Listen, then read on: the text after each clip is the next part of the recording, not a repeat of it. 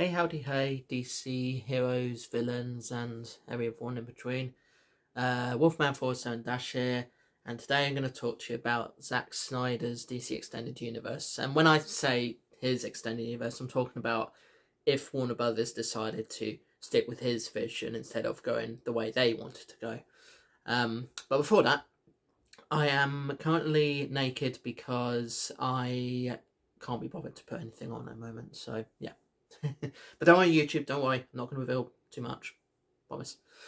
So, um, so the DC Extended Universe has been a bit of a mixed bag overall. It's had a few good films and a few bad films and films that just don't make sense or just gave everyone a mixed feeling. And I think one of the reasons why it wasn't as successful as um, the early the early days of the MCU is because it just kept changing directions.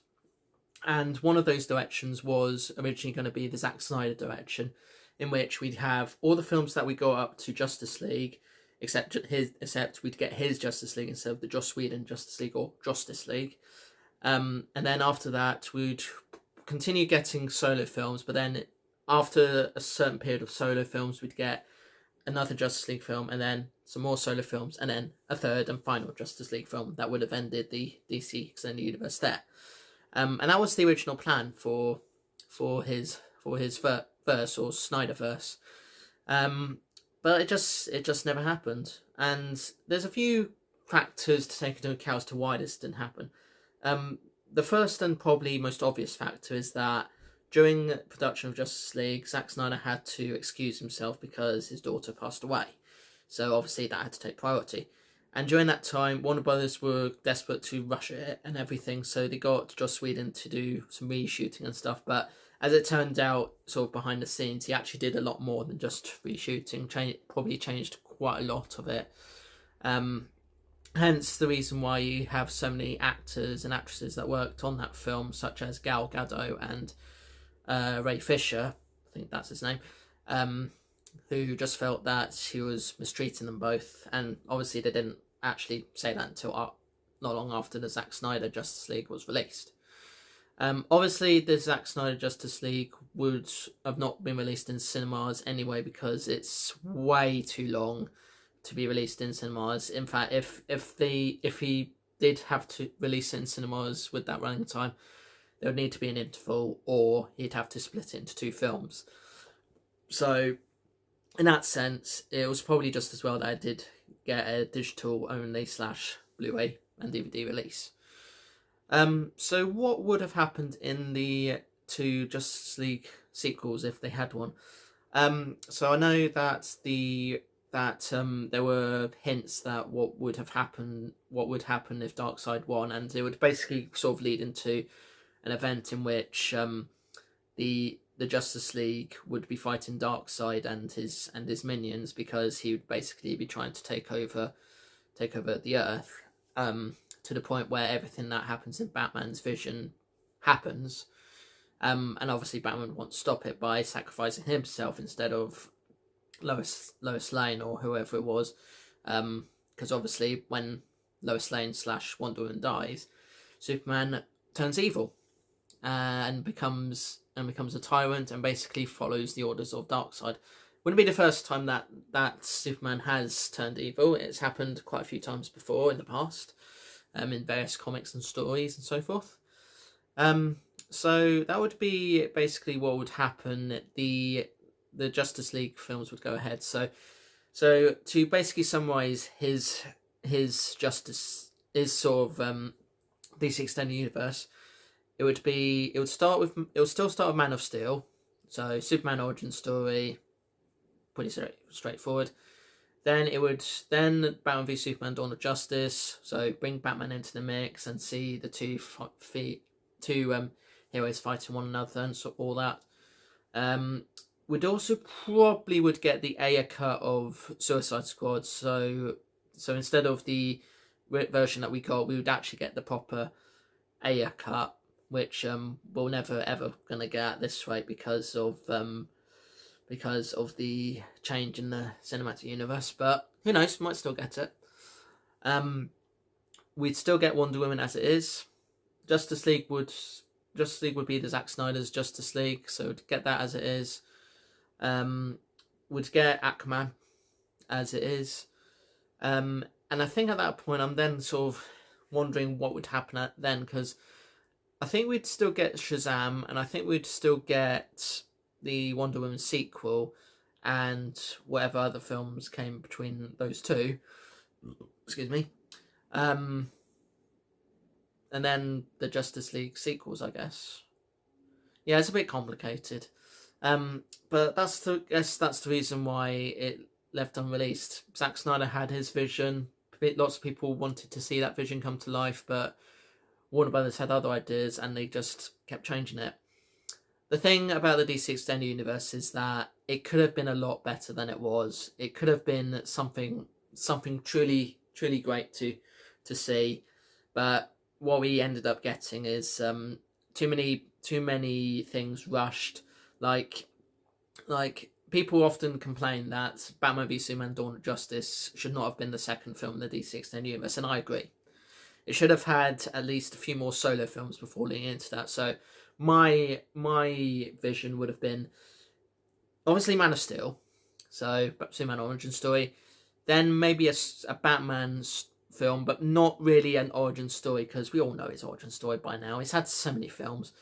Um, something else to do with that. That would then lead into a Batman v Superman film, but then we'd have another Superman film, and then we get Batman v Superman: Dawn of Justice, and then and then the rest of them, um, and then probably after Dawn of Justice, maybe um, solo films for Aquaman, Cyborg, Wonder Woman, and The Flash, and then we'd get Justice League, um, and then those stories would continue in more solo films, and then we'd also get introduced to other heroes, and then the next Justice League.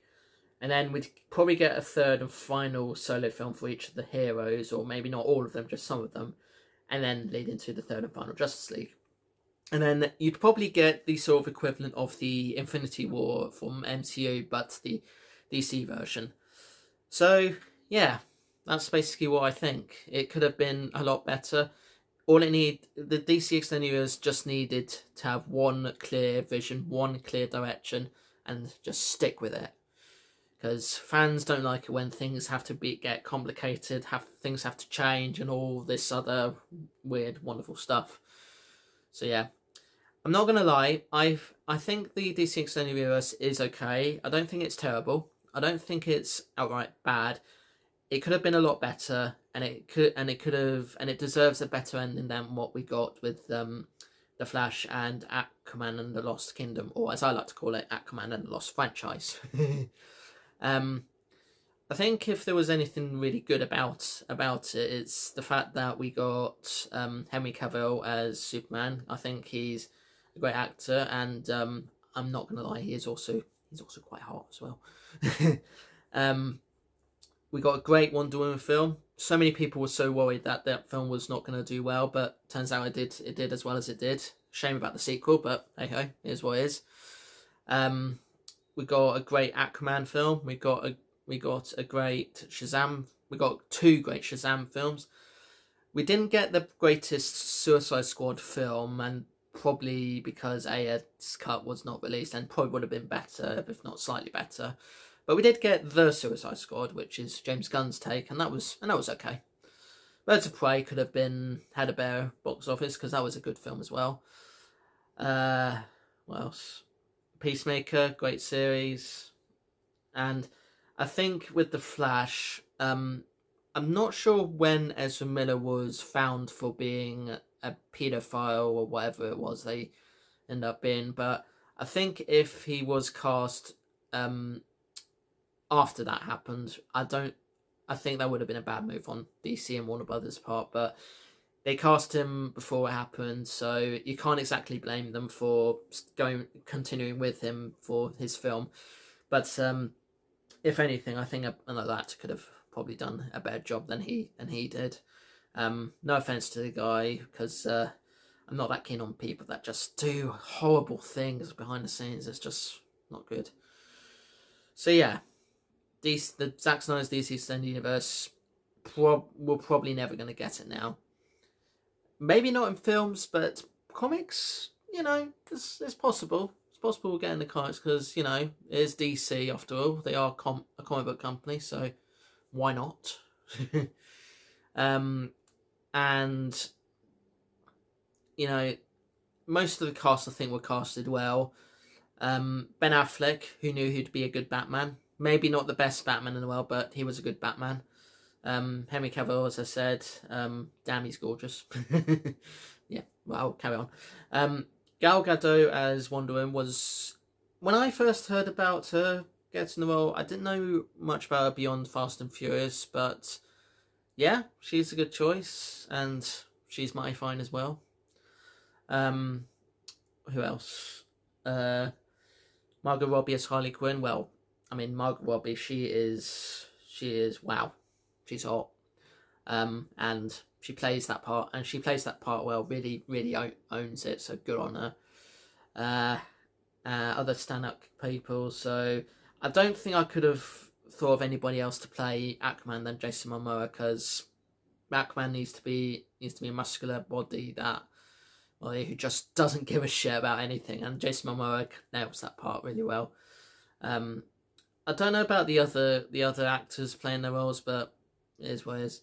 So yeah, DC Universe could have been better, deserves a lot better, but at least we're now getting a James Gunn DC Universe instead now. So hopefully, hopefully that'll be that'll be better or good, and at least and hopefully then it will just stick to one direction and not go into several several million directions like um the DC Extended Universe did because that's all we really need really consistency consistency a clear vision a clear direction and that's and just follow things best way you can because that's really all you need. So yeah. Alright, thank you so much for watching. If you enjoyed this video, please like, share, comment and subscribe using wherever the buttons are these days. Excuse me. Yeah. See you in the next one. Peace to you all. And if you make your own cinematic universe, don't change direction constantly. Keep things consistent and just give the people just treat the people well for God's sake. Yeah, just treat them well. Don't don't insult them. Don't annoy them because these because you know you guys these people work incredibly hard and you can't exactly work well if you're gonna be treating them like shit. And I'm saying that directly to you, Joss Whedon. Don't just you know just don't treat your actors like shit. Just don't do it. Yeah. All right. Doodles. What? We some kind of Suicide Squad.